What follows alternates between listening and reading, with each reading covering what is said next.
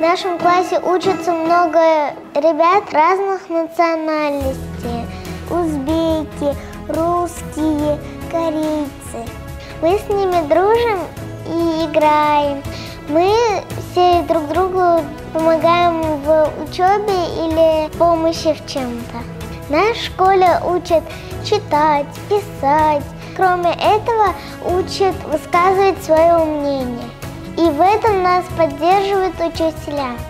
Наша школа организовывает поездки в музей, в парк, аттракционы или поход.